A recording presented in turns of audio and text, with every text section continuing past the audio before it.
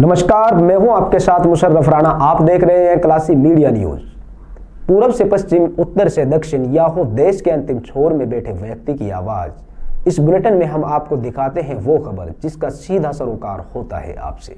मेरठ के प्रतापुर बाईपास स्थित Meerut institute of technology में क्षेत्र सेवा योजना कार्यालय मेरठ द्वारा एक दिवसीय रोज़गार मेले का आयोजन किया गया। रोज़गार मेले का उद्घाटन मेला प्रभारी राजीव कुमार एमआईटी के vice chairman Puneet Agarwal director doctor Alok Chauhan counselling head Rakesh Kumar ने संयुक्त रूप से दीप प्रज्वलित कर किया। सर ये जो आज कॉलेज में रोज़गार मेला लगाया गया पूरा मामला क्या है?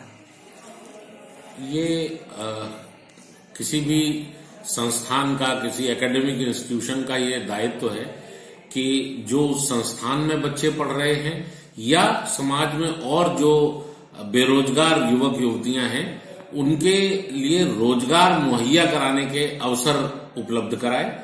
और उसी क्रम में मेरठ इंस्टीट्यूट ऑफ़ टेक्नोलॉजी पहले से भी हर वर्ष साल में दो बार, तीन बार रोज़गार मेलों का आयोजन करता रहा है। हमने विगत वर्ष में भी दो बार रोज़गार मेले का आयोजन किया।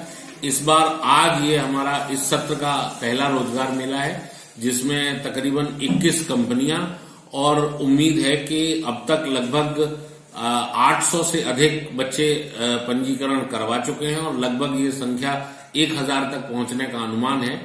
और इसी क्रम में आगे 8 फरवरी को हम एक वृहद रोज़गार मेला, मेगा जॉब फेयर मंडलीय सेवायोजन कार्यालय और उत्तर प्रदेश का जो सेवायोजन विभाग है, उत्तर प्रदेश शासन का, उसके साथ मिलकर हम एक मेगा जॉब फेयर 8 फरवरी को करा रहे हैं, जिसमें करीब 100 कंपनियाँ और उम्मीद है कि 5000 से अधिक बेरोजगार युवक युवतियाँ सम्मिलित होंगे और अपने लिए बेहतर रोज़गार के अवसर उनको मिलेंगे उनके लिए। ये आसपास के होंगे बच्चे या दूर के भी होंगे कहीं?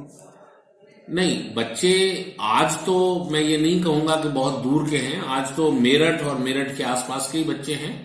आ, लेकिन निश्चित रूप से बाहर से बच्चे आए हुए हैं।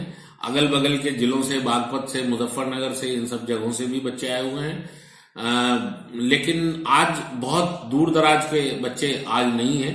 लेकिन मैं आशा करता हूँ कि 8 फरवरी वाले रोज़गार मेले में पूरे उत्तर प्रदेश से छात्र छात्रा और युवक युवतियाँ इस रोज़गार मेले में जो मेगा जॉब फेयर प्रस्तावित है 8 फरवरी को उसमें आएँगे। मलीशा अंजुम है इस रोज़गार मेले में हिस्सा लिया।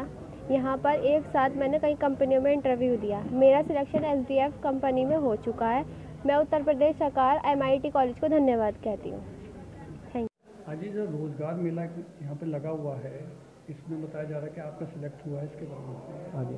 हम रोज़गार मेले में इसमें आए थे। हम बहुत खुश हैं कि आज हमारा selection V S S S technology private limited में हो गया। सैलरी पैकेज बीस हज़ार रुपये पर मंथ है हम बहुत खुश हैं। आज हम अपने पैरों पर खड़े हो चुके हैं। क्या नाम है आपका? विकास गुप्ता हमारा नाम है। हम कई लोग शास्त्री नगर में रहते हैं। तो आज हम बहुत खुश हैं इस रोज़गार मेले से। कॉलेज से कौन से कॉलेज से? सर हमने पंडित दीनदयाल उपाध्याय मैनेजमेंट कॉलेज से बी बी ए किया था सन 2012 में। लेकिन जब हमने, हमें जॉब ऑफ़र हुआ था, जब हमने नहीं करी थी, उसके बाद आज हमें जॉब ऑफ़र हुई है तो हम बहुत खुश हैं।